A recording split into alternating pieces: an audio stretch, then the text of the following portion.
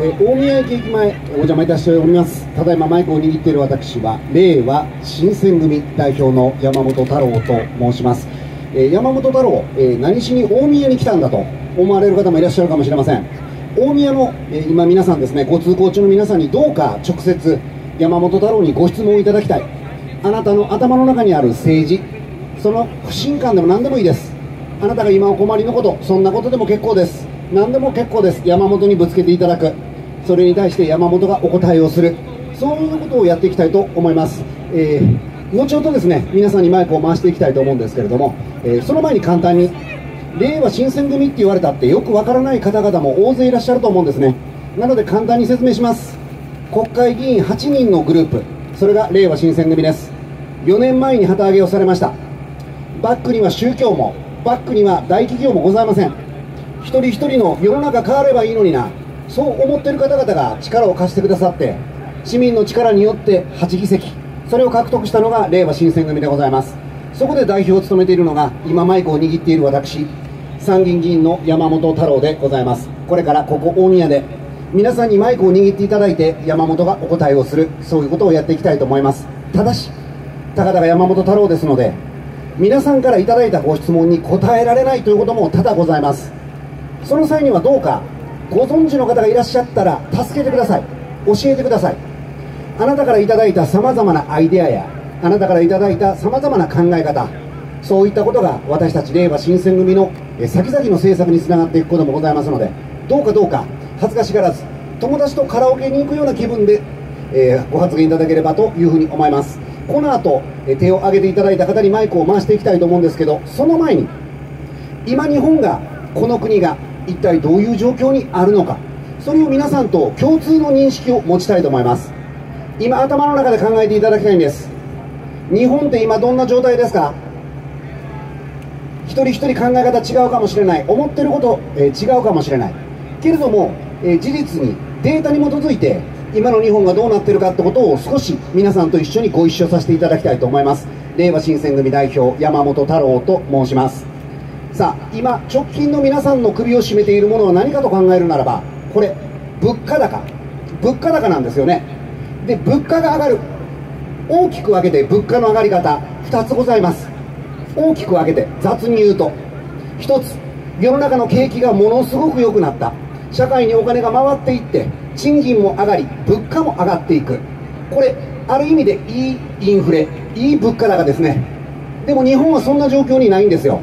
なぜかというと30年30年も不況が続いている国なんです。これ先進国で日本だけ。30年賃金が下がっているのも先進国で日本だけ。海外を目移してみれば先進国。スタバでバイトすれば1時間で2000円を超えるような時給がもらえる。日本はそうじゃない。30年賃金下がりっぱなし。経済悪いんですね。これ政治の失敗です。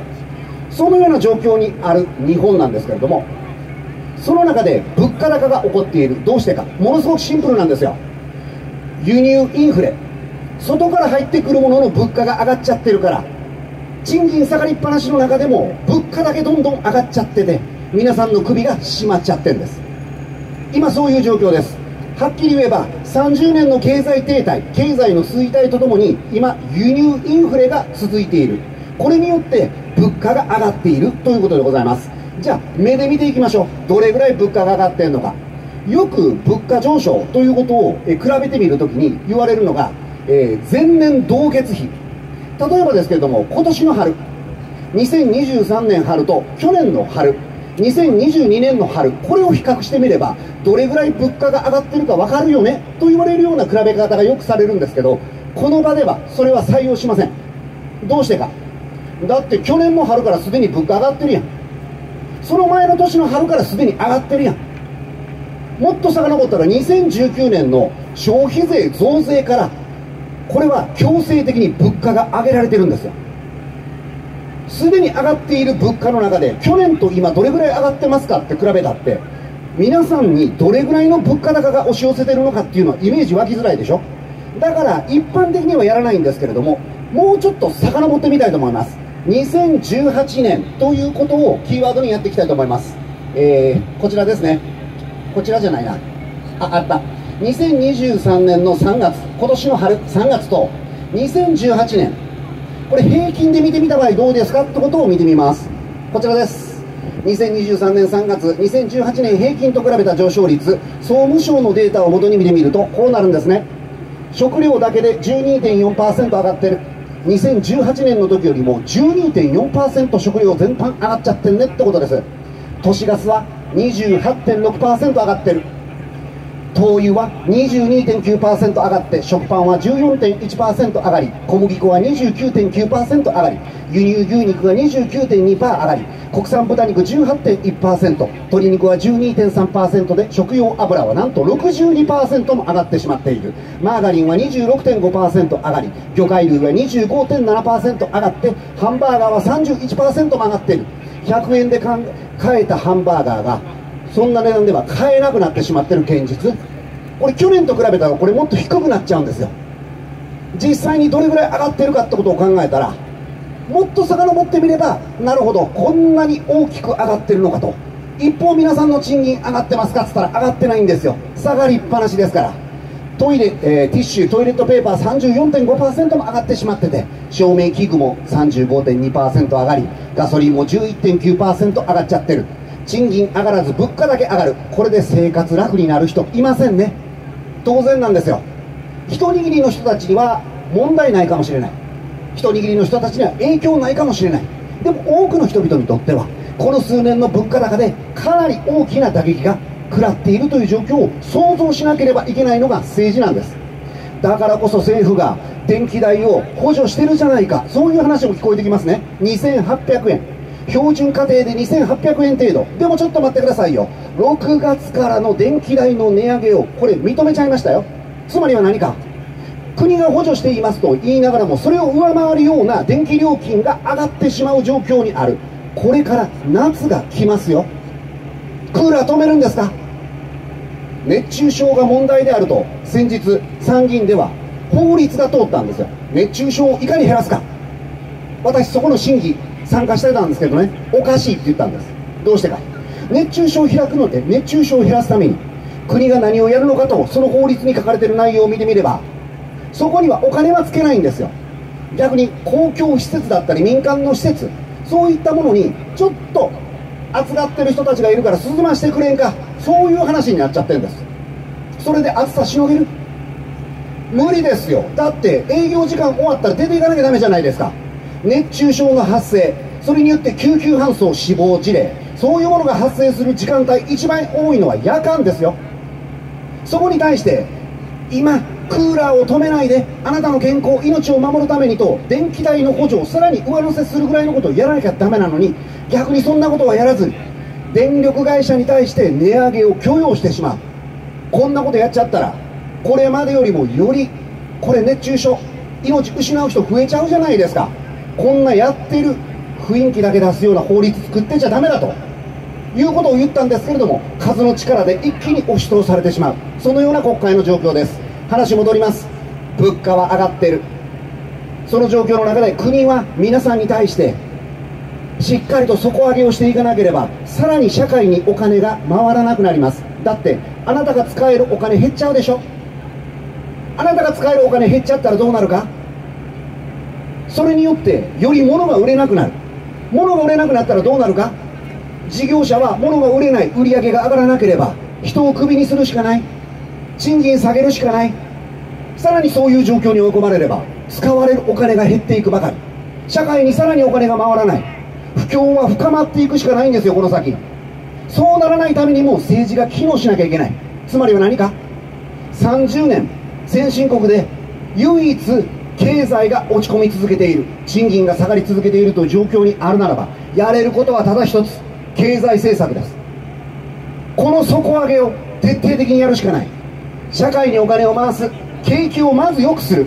これを国として取り組まなきゃダメなんですけどやる気ゼロ。おかしいですね。こんなことやったら社会さらに壊れちゃう。そういう話です。お前口だけで言ってるけど本当にそんな状態になってんのかよ。そう思われる方のために一応データ示させていただきます。こちらです。はい。ご覧いただいているのが日本だけが異様な賃金マイナスなんだよ。ということでございます。左側が1997年。右側が2020年。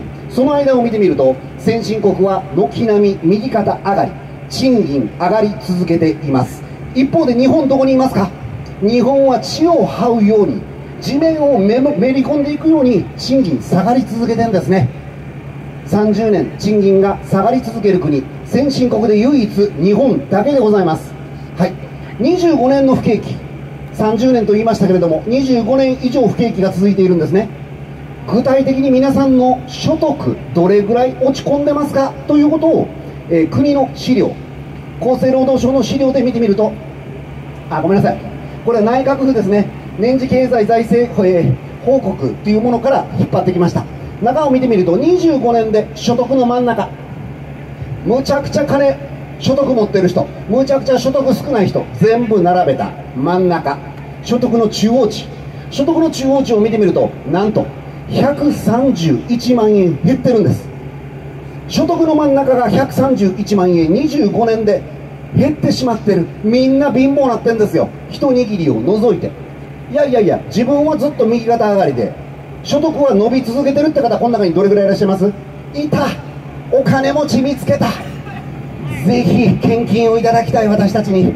よろしくお願いいたします。ありがとうございます。まあ本当に、えー、本当にお金持ちという方で、えー、いらっしゃるかもしれない。そして賃金上がり続けている方いらっしゃるかもしれない。でも一握りですよね。多くの方々は大きく影響を受けてしまっている。この国に生きる人々を貧しくするような政策が数々打たれてきたってことを簡単に説明いたします。例えばですけれども税金の取り方を歪めます。金持ち大企業資本家を減税し続けて一般の皆さんたちに対して増税を続ける。そんなことがずっとまかり通ってきたんですよ。その名も消費税。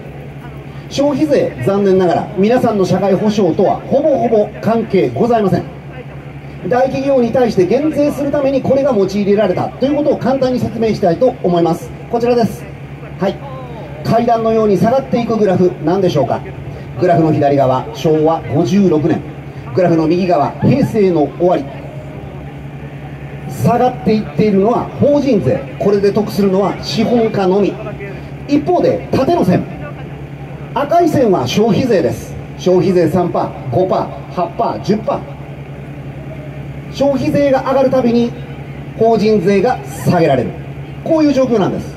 一体何のために消費税を取ってるんですか？これが答えですよ。あなたほぼほぼ関係ないんですよ。消費税をなくせって令和新選組は現実的じゃないことばっかり言ってる。違いますよ。違います違います。逆に言ったら皆さん財務省や政治やテレビ新聞に事実関係教えられてないだけググればわかる。消費税が始まる前の議論を見てみてください。このことがバッチリ歌われてますよ。直間比率の是正直接税これを下げるために間接税を導入。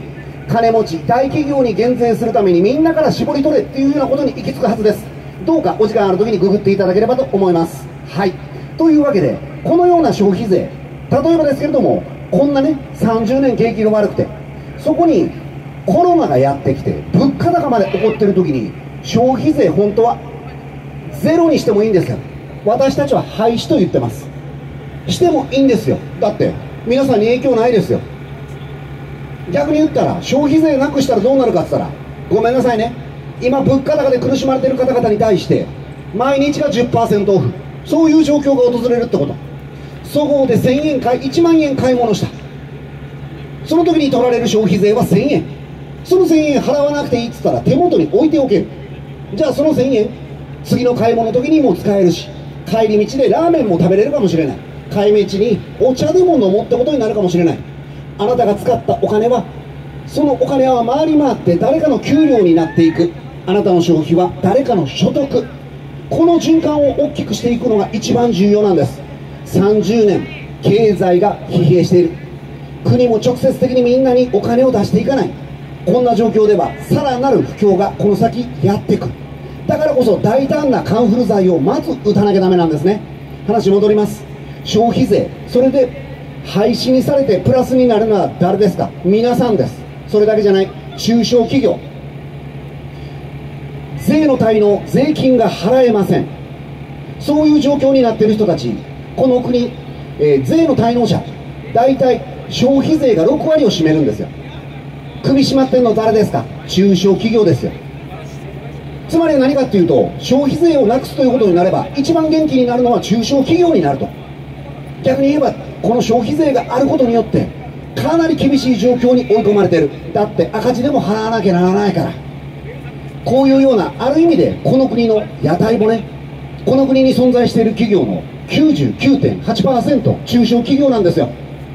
この国で働く人々労働者全労働者の7割が中小企業に雇用されてるんですよ。ここを元気にしなくてどうやって日本の経済復活するんですか？ありえませんね。中小企業いじめこういうような税金を続けている限りはこの国は没落の一途です。だからこそ30年の衰退そこにコロナそして物価高今やるべきことは何か大胆な経済的施策あなたの負担を10%負担軽減します。もちろんこれだけじゃないです。他にもやらなきゃいけないことあるけどこの1点だけとっても大きくこの国の経済は動き出す。景気は良くなる。それを訴えているのが私たち令和新選組でございます。えー、他にも言いたいことはいっぱいあるんですけど持ち時間全て山本が喋りそうな勢いになってしまうので一度皆さんにマイクを譲りたいと思います。改めまして令和新選組代表の山本太郎大宮駅にお邪魔いたしております。今日はですね大宮ご通行中の皆さんにどうかマイクを握っていただいてそして直接山本太郎に質問でも苦言でも提言でもぶつけていただきたい。山本が答えられない時はごめんなさい。その時にはどなたか助けてください。そういう形で進めてまいります、えー、友達とカラオケ行くような気分で握っていただいて結構です。緊張する必要ない。政治政治に関わっている国会議員のおっさんたちでも世の中のことなんて分かってない人山ほどいるんですよ。心配することない。あなたが何か考え違いしてたとしても何かしらみんなで話し合っていきながらでも一般的にはこういうことらしいよねっていうような話していきたいんですよ。で私が間違うこともあるし私が知らないこともある。その時にはぜひご存知の方に山本太郎に知恵をつけてやってください。そのようにお願いをしたいと思います。さあ令和新選組代表山本太郎大宮駅で質問を募集しております。どなたか手を挙げてご発言いただける方いらっしゃいますか？どうでしょうか？じゃあそちらの眼鏡をここにかけた方。そのまま